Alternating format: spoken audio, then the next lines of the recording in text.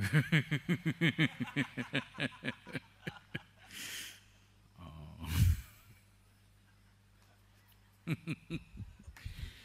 Why are you here?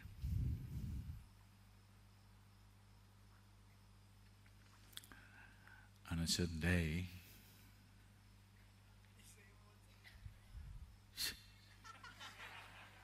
What's the same old thing?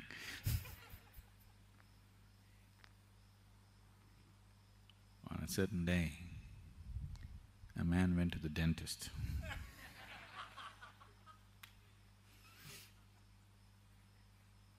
he walked in and went to the doctor and he said, I am a moth. So the dentist looked at him and said, See, what you need is a psychiatrist, not a dentist. Moth has never any dental problems. You need a psychiatrist. The man said, I know it. Then he said, why are you here? He said, because the lights are on.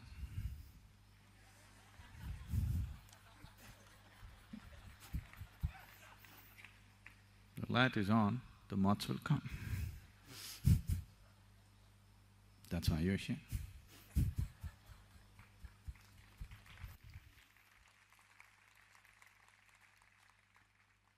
So, next thing is what am I supposed to do? Nothing. What does a moth do? Just drawn by the light, rushes into it and kills itself. That's what you're supposed to do. If uh, you're drawn to this, and if you're thinking from the satsang, what is the takeaway? No, this is not a fast food restaurant. There is no take takeaway. So I who do the takeaway, not you. I take away, you don't take away anything. Nothing to take away. This is give away. If you give away yourself, then there is something. See, this take away, give away, everything makes sense only when you're dealing with limited quantities of things. If you're handling only objects in your life, if your life is an objective process, and if your life is limited to physical objects, giveaways, takeaways, all these things are meaningful.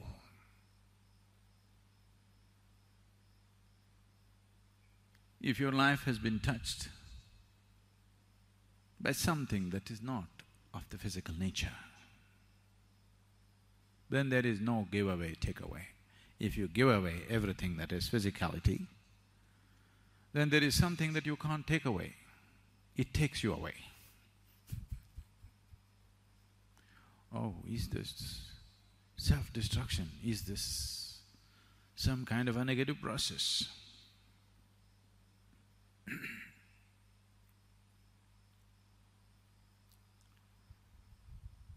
For someone.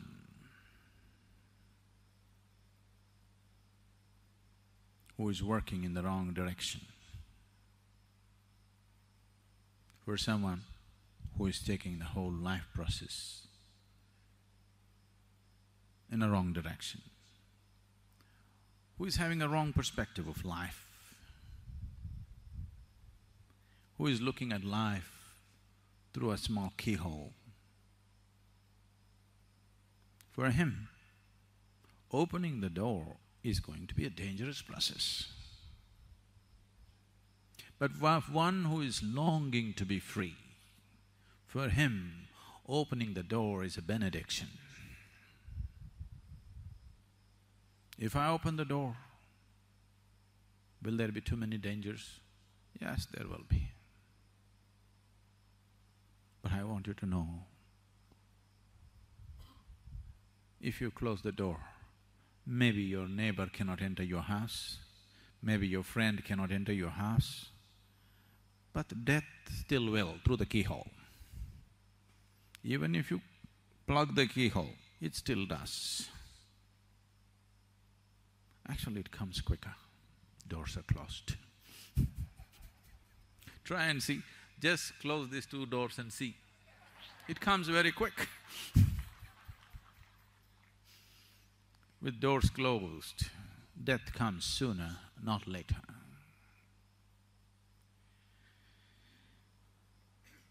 If one does not know, if one has not known even a moment of abandon in his life, that all your life you have been your own security guard. if you are the watchman of the house, not the lord of the house, then an open door is a dangerous thing. A locked door is always the best thing. But if you're the lord of the house, you wish to walk in and out as you feel. Only then you can claim to be the lord of the house. Right now, this… this body, I have no… nothing against the body. I am not against the body. But I am not for the body is either. Because what the body contains is very important, keeping the body well becomes important. Because what the body embodies is sacred, keeping the container in a certain level of sanctity becomes important. Let me see, all of you, just come out of your body for some time and then get back. Can you? Just come out for a while, two minutes and get back. Can you? No. Even if you are staying in a palace, if you cannot come out, that's called a prison. That's not called a palace. Yes? See, I'm not asking that question yes or no anymore.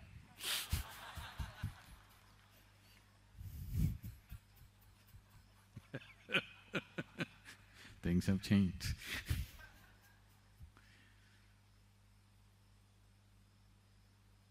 Even if you're living in a palace, if you cannot walk out and walk in by your choice, you cannot call it a palace, it's only a prison.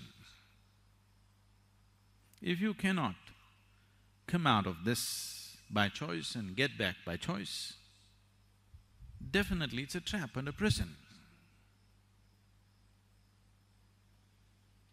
If you're not willing to open the doors because you're security conscious,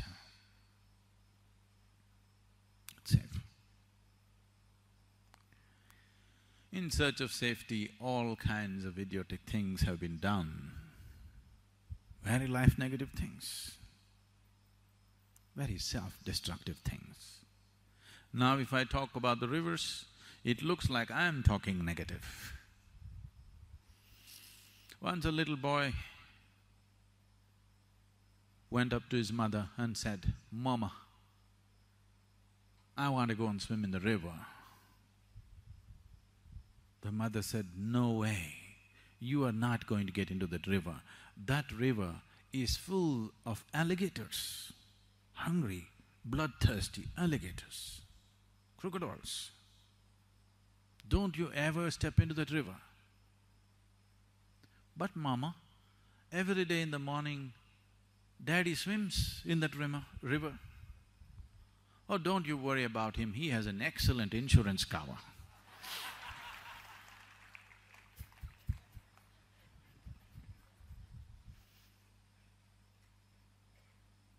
And insurance is not a safety for your life, it's good for somebody.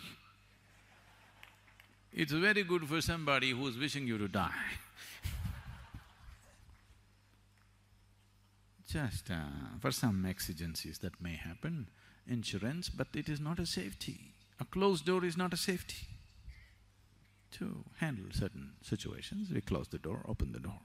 But a door is a door only if it can close and open. If it is always closed, it's a wall, isn't it? A door is a door only if you can open and close by choice. If it's shut all the time, it is not a door. You cannot call it a door. So, uh, why am I here? What am I doing? Then the next question will be, Sadhguru, what, what is it that you're trying to tell us anyway? I'm sure it's going to progress. There's only one thing I'm trying to tell you. I'm just trying to beat my own drum, but these boys are keeping all of them, but to blow my own trumpet, that I know, I know, and I know, that's all I'm trying to say. I know, not only that I know, that which you want to know is also me. That which can know is also me. This is the self-trumpet that I'm blowing all the time. Don't believe all the other words. All I'm trying to say is, I know, I know, I know, I know. This is somebody blowing his own trumpet all the time. Day in and day out, every opportunity, whether people are willing or not willing, whether the situation is appropriate or not appropriate. Same thing.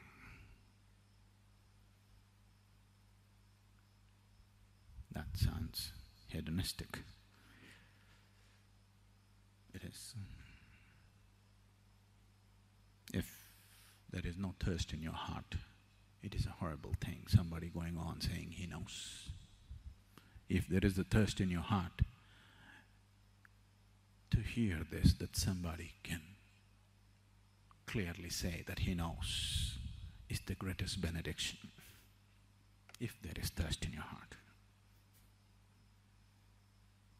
Hmm? Water is valuable only when you're thirsty, isn't it? If you're thirsty, a glass of water is divine. Otherwise, what is it? Doesn't mean anything. Only when you're thirsty.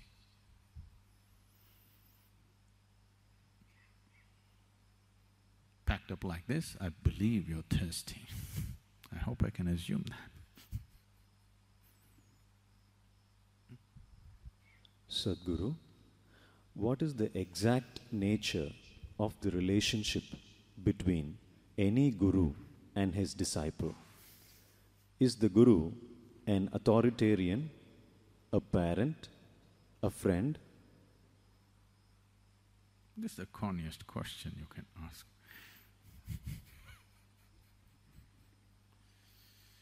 Friend, I'm willing to be, but I'm not actually.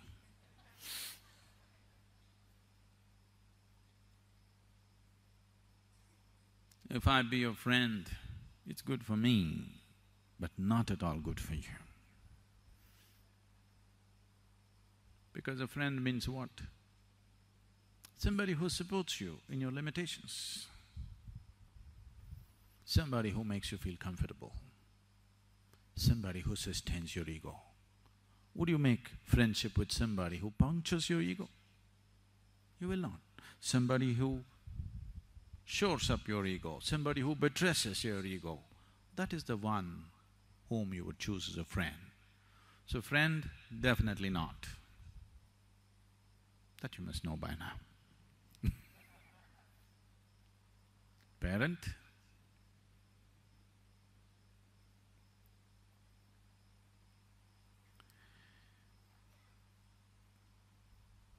I have great regard and reverence for mine and yours, but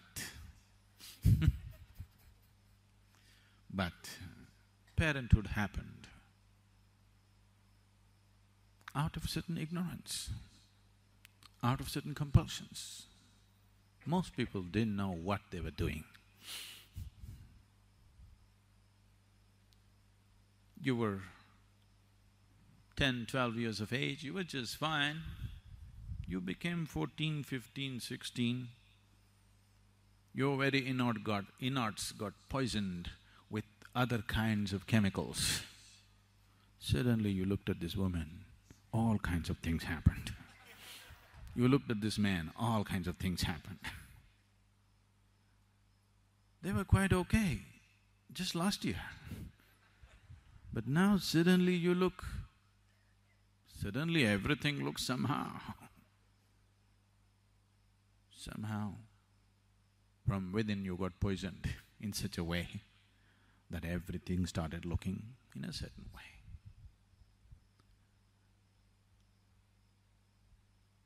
You will see once this hormonal hijack is over, you look at everybody, everybody looks normal.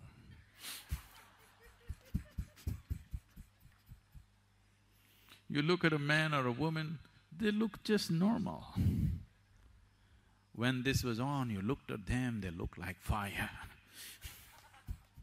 it consumed you, it was not unreal, it was real.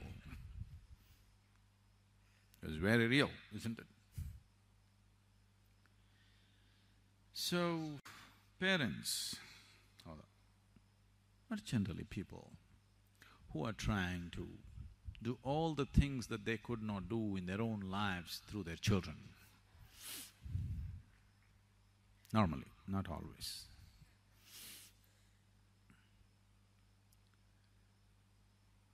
Some of them are here, so you know, we keep uh, seeing this. Uh, our school teachers kept coming to me, people who are running the school come and tell me, you know, we made it very clear to the parents, once you put your child into Isha Home School, we are not going to give you a marks card. We are not going to put up a marks card and say your child is better than somebody else's child. Everything is being done a great amount of striving to see that the child flowers. Many things, very elaborate things are being done, which very few schools in the world can ever do. but uh, slowly, you know, they're okay, they know it's nice, children are developing well, they're physically, mentally, they seem to be much more mature than themselves, which is very threatening. But all that is fine.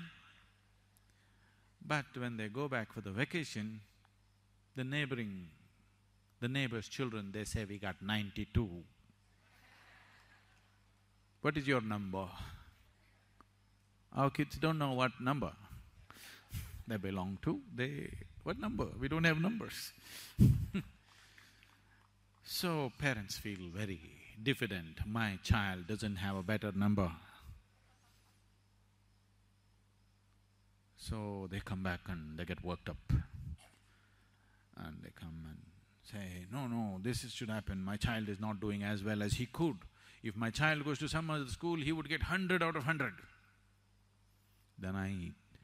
I told them, next time somebody raises this, just tell the parents, first bring their marks cards. All the parents should bring their mark sheets. Let's see how much they got. We'll say it's just genetic.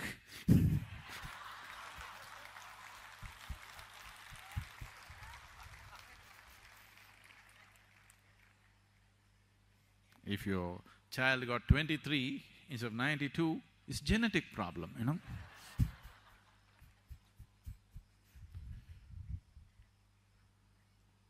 So, one or two parents, once you ask this question, the rumor spreads on, they're going to ask for your marks card, don't don't ever ask about your children So parent, definitely not. Authoritarian? I think I fit into that.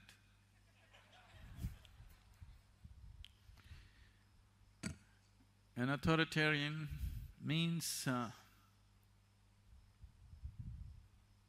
usually you think authoritarian means a Hitler, a Stalin or a Mussolini or somebody else like that. No, they really had no control over anything. All the time things were freaking around them. They were trying to keep control in the most violent ways, but they never had control over anything. Yes, things were always falling apart around them. But uh, I think I fit into that label much better than them because uh, when it comes to life, doesn't matter what you say, what you think, what you do, what I say will happen when it comes to life, fundamental life. So I am an authoritarian because I don't listen to anybody. With simple things of life, even if a child speaks, I will listen with great respect. But when it comes to certain aspects of life, it doesn't matter who. If God comes, I will not listen to him because I know better than him. This sounds absolutely egoistic, stupid, Mike Tyson-like.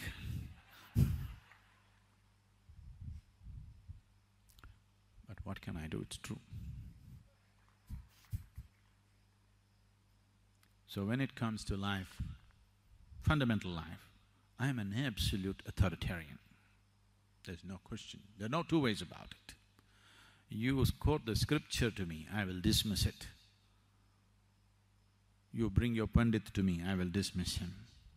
You bring anybody to me, you wake Buddha up from his grave and bring him, I'll still dismiss him unless he agrees with me. So I am a total authoritarian when it comes to life. I think I fit into that label better than anything else. Is that okay with you?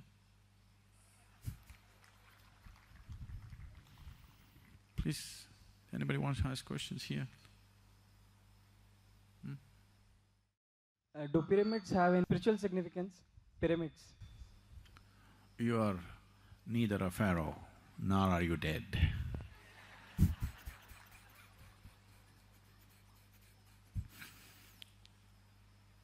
So, nobody is going to build a pyramid for you.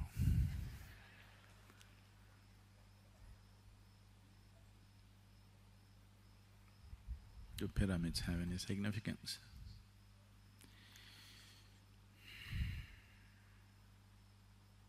These Egyptians, over four thousand five hundred to five thousand years ago, they started building this.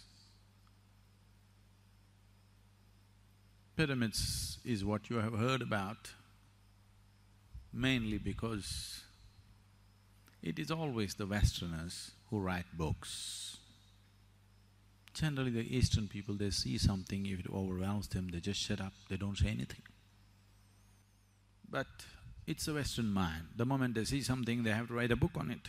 There are pluses and minuses to this. Lots of minuses, but lots of pluses, otherwise you wouldn't have heard about the pyramids unless you went there. Because it's the Western minds which generally talked about it, they only talked about the pyramids of Egypt because they're very death-oriented. It is because of this, the obsession with pleasure. Death and pleasure are very directly connected. People always think life and pleasure are connected. No, death and pleasure are very directly connected. If you are very alive, if you become alive fully, I know the Eastern minds have also absorbed this in a horribly mm, distorted way. But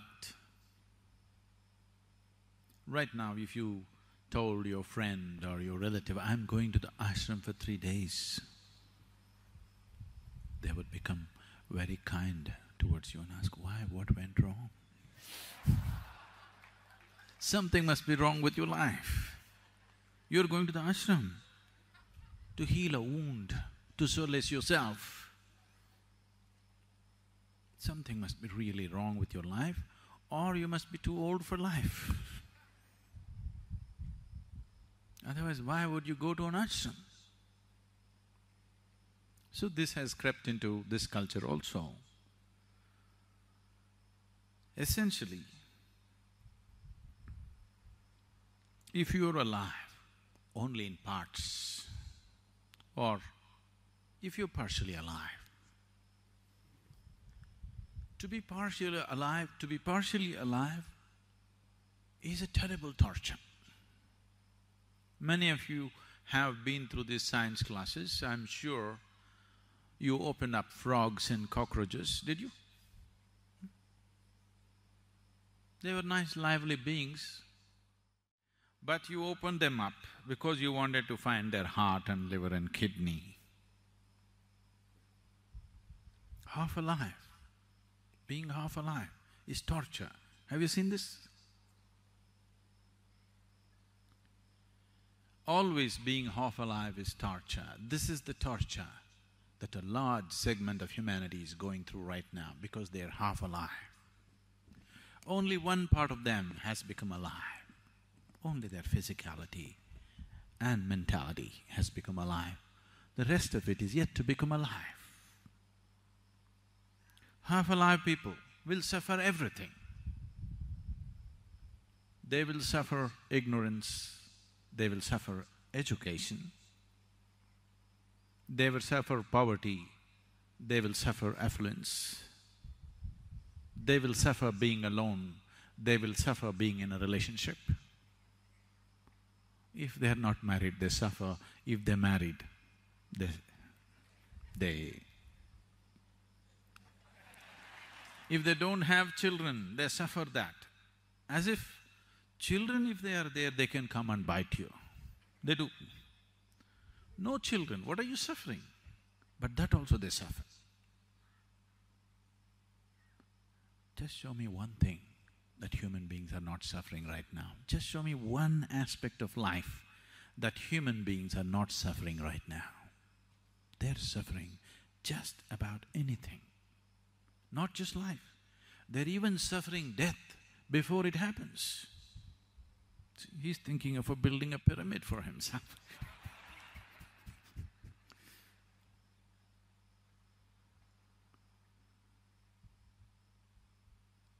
that which is and that which is not, everything they suffer. This is not. You are not suffering loneliness, you are not suffering company, you are not suffering money, you are not suffering poverty. What you're suffering is, you are half alive. You're desperately trying to make yourself fully alive through money, through drink, through sex, through going on a trek, coming to the ashram. In so many ways, you're somehow trying to make yourself fully alive, which is yet to happen fully. Here and there you feel a burst of aliveness, but again it ebbs down. So, when people are constantly half alive, pleasure becomes an important part of your life, very important part of your life. Without it, you cannot exist. Pleasure becomes paramount in your life when you're only half alive, when physicality is all that you know. Pleasure becomes of immense importance in your life. If you become fully alive, you will become so blissful, joyful, ecstatic without reason bursts of ecstasy without, within you without any reason. It's almost embarrassing. Now, the thought of pleasure just evaporates. Looking for a drink, looking for some kind of pleasurable thing just evaporates out of your mind because you're fully alive. When you're fully alive, pleasure disappears. When you're half dead, pleasure is an important, important thing. When half of you is buried in the grave, to have pleasure becomes extremely important. Graves have their own problems, you know. Some time ago I told you, there is no problem in the grave. But graves have their own problems because after I went into these pyramids and saw Just recently, you know, I went into these Egyptian pyramids and saw graves have their own heavy problems. Mrs. Peabody. Okay with the name? Mrs. Peabody was a hypochondriac, all the time worried about that something, some ailment is catching up with her. So she bothered her physician so badly. All the time, every day she comes up with a new complaint. And the doctor knew she's making it up all the time because there is no other way. If nobody pays attention, if nobody touches you and sees every day, you think you're going to die. So the doctor just started giving her aspirin under different names. You know, are many companies. Every day a new prescription, same aspirin, new prescription. And she would feel better, tomorrow she comes up with a new problem. One day she came and said, I have chest pain. Doctor gave her aspirin. That evening she died. This was real. the doctor felt very bad. He just assumed that she is still making it up. Three days later, the doctor died. Not because of this, he just died. Everybody dies, you know. A day this way or that way. and it so happened, they found him a plot, a grave plot, right next to Mrs. Peabody's. And he was buried. And there he heard a knock on his coffin. He said, Who's that? I said, Why, doctor? It is me, Mrs. Peabody. Do you have something for worms?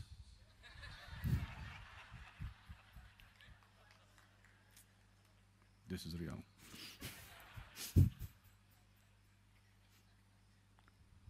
so, just to dodge the worms, the trouble that the Egyptians took is unbelievable. You know, you heard of the mummies? They took the liver out and put it in a can of something, they took the heart out and put it in another pot, they put different parts of the body and then they wrapped this up and wrapped this up in so many different ways, an elaborate process. And then this building, there are over three million stones each one of them weighing over twenty to twenty-five tons in the… one of the largest pyramids that are there. And it's a fabulous engineering feat, no question about it. Fabulous, fabulous engineering feat. We have to marvel at their engineering skills. But about their knowledge about afterlife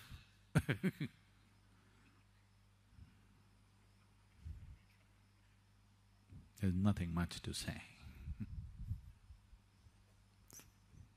but the most important thing in Egypt is not the pyramids, it is the fabulous temples that they built. They built some of the most magnificent temples on this planet, the largest and the most magnificent. You won't see anything like that in India. Most of them were built for sun god and certain goddesses. The sun god in Egypt is referred to as Ra. What do you call sun? Hmm? There are many names, you know. Ravi, Ravi. And today, most of the world's history was written by the English the British. Generally, either history was written by the conquering generals or by the conquering priests. Both of them are vested interests. There's a whole parallel line of history written by the French, French historians wrote history, which is barely read in the world. All our textbooks, the Indian textbooks, are one hundred percent by the British authors. So these people write a certain kind of history, which is the history of the generals and the priests. But the Egyptian culture is all about temples, huge. Somebody worships a pyramid, which is a place of death. So they are very death-oriented. So when they saw the temples full of life, music, dance, revelry, life, they didn't like it. It looked most irreligious to them. They wanted to pull down the temples, but these were too massive, massive, massive. Massive means you would not imagine buildings like that. I would like a meditation hall like that, but the Egyptian temples are truly massive, truly massive. The Karnak temple, which is one of the well-preserved lot, which is over four thousand six hundred years old, is something like I may not be exact on this, I would say it is something like uh, twenty times the Rameshwaram temple that we have, which is one of the largest temples we have. That's how large it is. And in terms of its height, it is running into, you know, really fabulous heights. Above all, what kind of devotion must have driven these people? four millenniums ago to handle rocks like this. Some of these pylons which they have made, which have made them stand up, which have been transported hundreds of kilometers down the river Nile and erected. They are stones which weigh over four hundred to five hundred tons, running to twenty-seven meters tall. What kind of devotion must have driven these people? to do this kind of work. No machines, no trucks, no cranes, just human beings. It takes phenomenal sense of devotion and sense of purpose for anybody to do this. And today French historians are writing that Egyptian culture was connected with the Vedic culture seven thousand years ago and the builders went from here, from this land. This you can see in Baalbek temple in Lebanon, which is once again about four thousand two hundred years old. Once again, it's a fabulous, fabulous feat. They don't have any granite in the area, so they brought it from Egypt. They transported it across what is now Suez Canal, and they brought it up through Syria and climbed up the mountains, which is over 350 to 360 kilometers of climb on the mountain and they put it up there, a huge temple, a Phoenician temple which was built almost 4,200 years ago. And here you will see lotuses hanging from the ceiling. A lotus in Lebanon, there is no such possibility because these are Indian sculptors. So there is history in Lebanon which clearly says Indian elephants, Indian labor and Indian sculptors came and worked here. And the most amazing thing for me was, I saw a sixteen-pointed stone. Even today when we do the Guru Puja, Guru Puja is essentially, in the yogic parlance, it is known as Shodashopachara. That means sixteen ways of treating a guru. That's what Guru Puja is. So usually we have a Guru Puja stone which we still don't have in ashram because of whatever. We're still putting up the stones, the standing ones. This sixteen-pointed Guru Puja stone, which is prepared traditionally in a certain way, is essentially from the yogic culture. It cannot come from anywhere else. You will see a proper Guru Puja stone with all the necessary symbols and everything in Lebanon, which is over four thousand years old. So today, a lot of French historians have published many aspects of history. So pyramids are just one aspect, but they have become very popular because of very death-oriented people. The temples of Egypt should have been celebrated. And the defacement of these temples, who did such a crime? Even a caveman, if he walks into this temple, he cannot help being overwhelmed. The columns are standing twenty-seven meters tall. Hundreds of them, not one or two. Even if a caveman, without any sense of aesthetics, walked into this place, he cannot help being overwhelmed.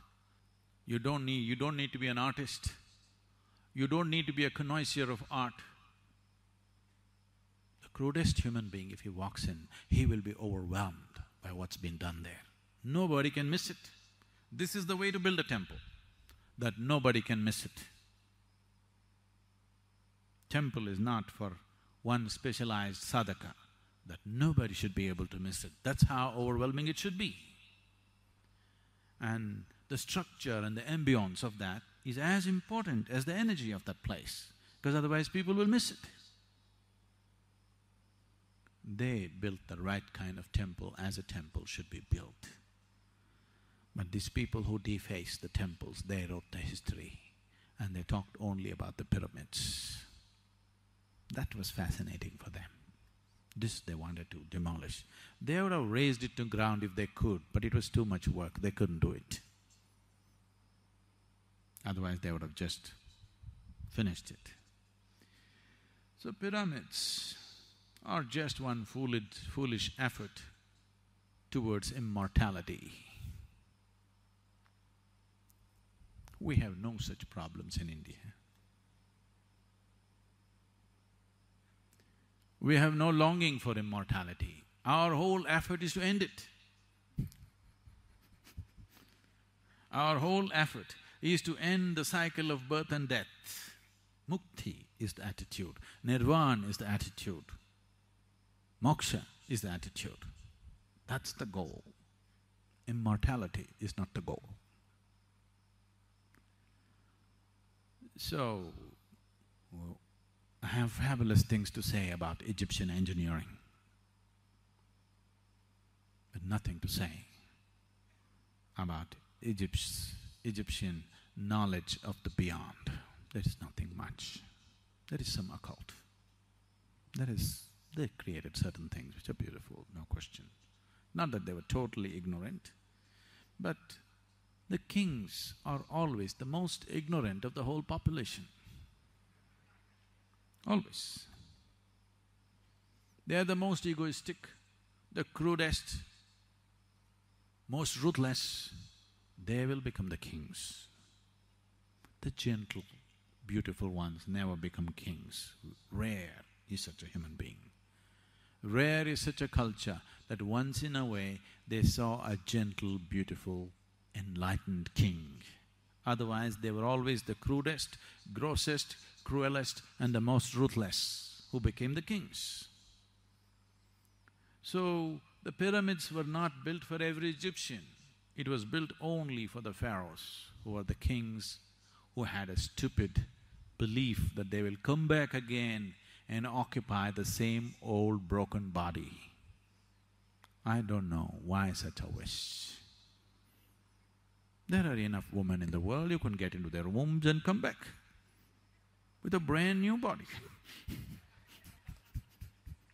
I don't see. What is the point preserving the body keeping your liver in a pot, keeping your heart in a pot. And now tourists are gazing at your heart and liver. People are dying to take a picture with the pharaoh's heart. Pyramid is a powerful form because it's preservative in nature. How to overcome possessiveness? Oh, okay, okay.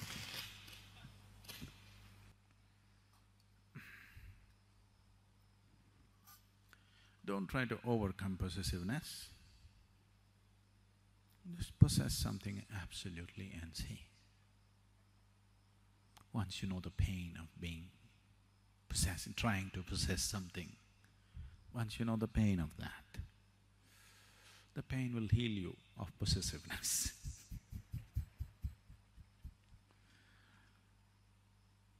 you trying to overcome possessiveness is not going to work because you already tried, isn't it? Obviously you've tried, you failed and that's why you're asking me. Possess, absolutely. Whether it's your husband or your child or your… even your home or even your dog, try hard to possess it totally. You will see it'll bring unbearable pain to you. When it brings that kind of pain, it'll cure you. So, uh, why is it that you want to possess? You know, in India or anywhere in the world, if you say somebody is possessed, what it means? The one who is possessed is a victim, but one who possesses, you know who he is? You are just that. When you try to possess, you'll become a devil. No, no, no, I love very much. But yes, with good intentions, you will become a devil. That is the problem about possessiveness. Very good intentions. And how do you know devil has no good intentions for you? Who knows? How do you know God has good intentions for you? Only the… only the propaganda says so, but you don't know for sure, isn't it? Yes. If all this is God's making, all that's happening in your life, you don't really know whether He has good intentions for you or not anymore, isn't it? no? You know for sure? You know for sure? You don't know. And you don't know whether devil has bad intentions for you, you don't know. But one who is… one who possesses is usually a devil. So with good intentions, when we said somebody is a devil, we did not question his intention. We only are talking about the result of his action, isn't it? Yes? We are not questioning his intention. We… a devil of a wind. Maybe the wind is blowing with good intention, but because it's devastating your home, you call it the devil because of the result, isn't it? So if the result that you are bringing about is painful, you are the devil. Your intentions may be good, but the result is painful for somebody around you, then you're a devil. So if you manage to possess, you must be a devil. And uh, these victims who are possessed by something else, they can cause hell of a lot of problem to everybody around them. Have you seen them?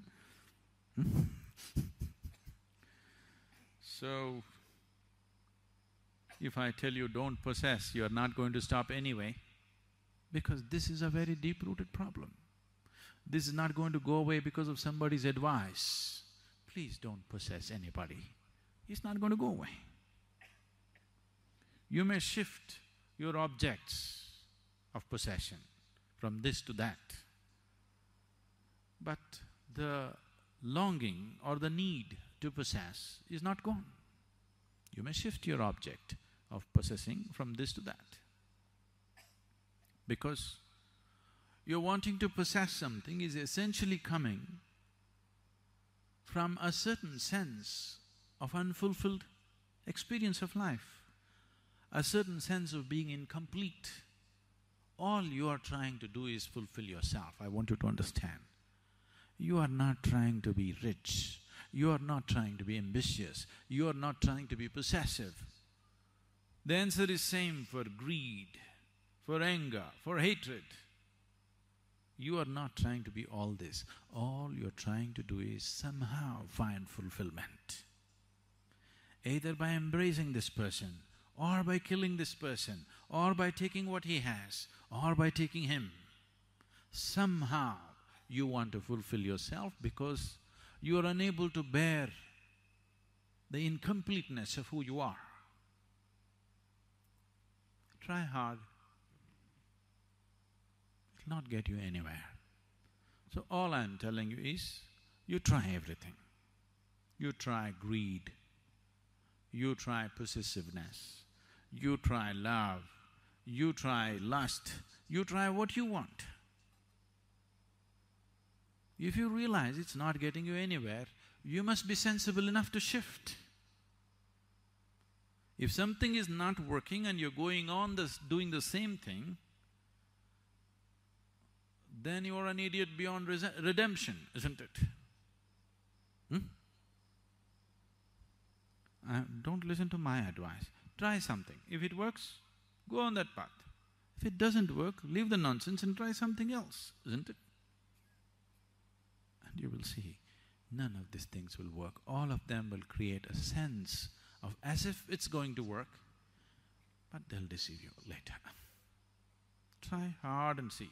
Don't try in a lukewarm way. Try absolutely. If you try absolutely within twenty-four hours, you will know. If you try off and on in lukewarm ways, it'll take a lifetime to know. Then if there are twenty-four qualities, you need twenty-four lifetimes to realize this doesn't work, this doesn't work, this doesn't work, this doesn't work. If you try really hard, within twenty-four hours you will know it doesn't work. Whatever it is, your problem, go all the way into it. You'll see within twenty-four hours, this is no good, it will never work, it'll be hundred percent clear to you. Once it's clear to you, I trust your intelligence. The only thing that I trust is intelligence, because life is intelligence. The tree is blossoming, it is a certain intelligence. The very earth that you walk upon is intelligent, the air that you breathe is intelligent. One way of looking at life is, life is just an explosion of intelligence. What you call as creation and what you refer to as the creator is the ultimate intelligence, isn't it? That's the only thing you can trust right now. And that'll function only if you go all the way. If you go like this, it'll give you a false sense of comfort and solace. You can carry on with these stupid things for a whole lifetime. You know it doesn't work, but it's not intense enough. So give yourself absolutely to whatever nonsense you're doing. Very soon, within a day, you will know it doesn't work. It doesn't work. If you realize it doesn't work, I believe you will shift. Am I wrong? Can I believe that you will shift? Something doesn't work and you're sure it doesn't work, you will shift.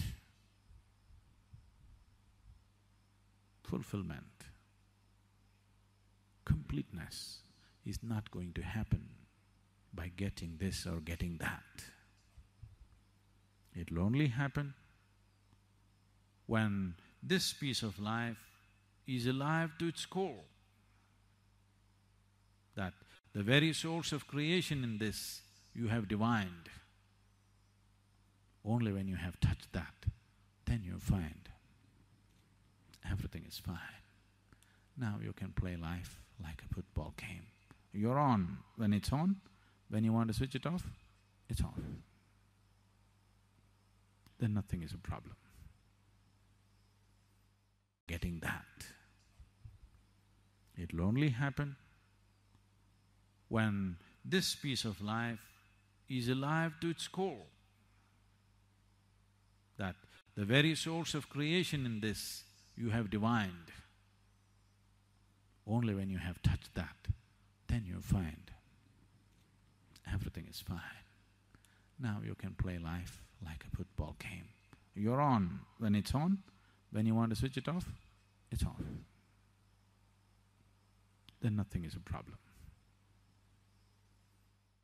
The body or the mind or the emotion, there cannot be any virtue. Now, for example, is Veerappan a virtuous man? Reject life.